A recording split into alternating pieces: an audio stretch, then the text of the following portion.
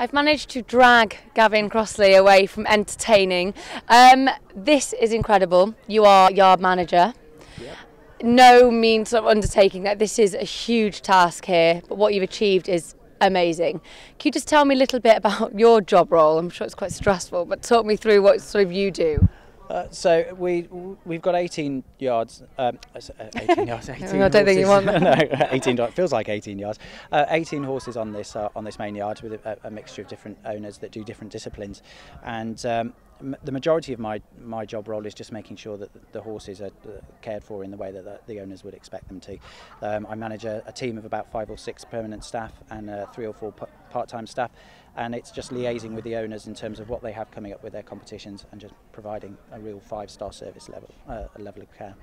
How do you cope with that? Because owners, everybody knows that you know you want to please the owners, obviously, and and owners will have their own requirements and demands.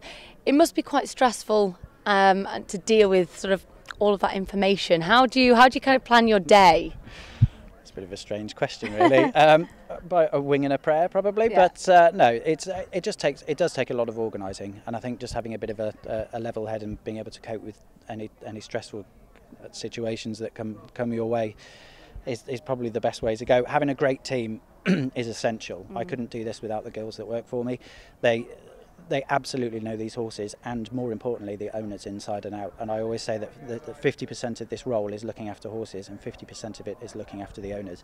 And every owner has very specific demands um, very spe uh, specific requirements for the horses. Um, and you just have to marry that with with the, the, the standard routine that the, the, that the horses are working with. It just it it's all about building relationships with the owners building relationships with the staff and just making sure that everyone's happy.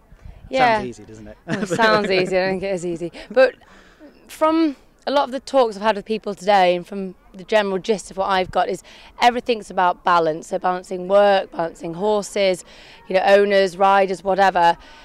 How do you balance riding yourself with the role of yard manager? Do you get enough time? Um, not as much as I would like. Um, I, I, I, I do say that anybody who's who's a yard manager generally gets into that position because they're they're good with horses, not because they're uh, they're extremely talented at sitting in front of a spreadsheet or it's something that really fascinates them. Um, a lot of my time is taken off, which is office based, and I would I'd much prefer to be out on the yard. Um, I'd much prefer to be riding, but equally I've got to give those opportunities to the girls and uh, and take on the responsibility that nobody else really wants to do. That's part and parcel of being a manager, really.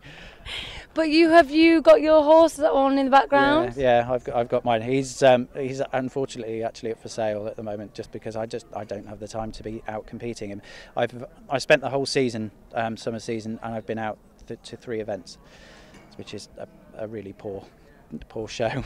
but it's just having the time. My my focus is on on this yard, the owners and their horses. And unfortunately, he comes a very, a very uh, close second, or probably third or fourth.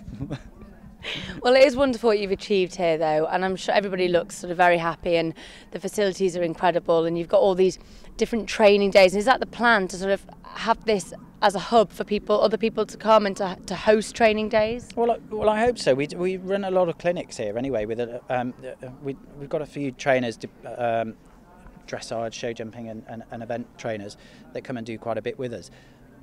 We could do more and it's pointless having two amazing arenas mm. um, for just a few owners that occasionally occasionally use it.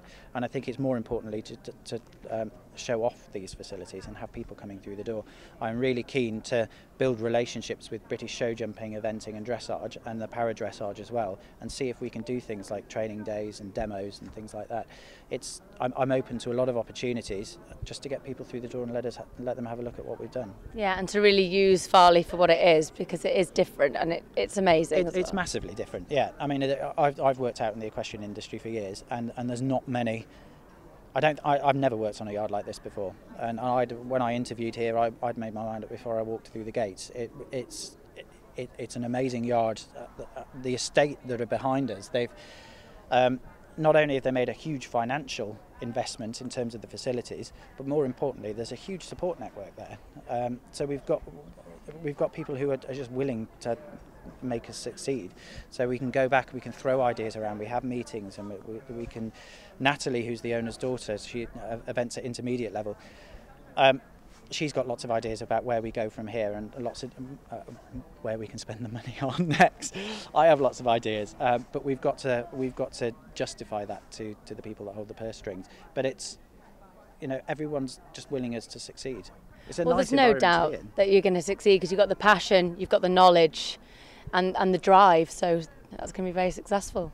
Thank you very much. Well done. Cheers. Thanks.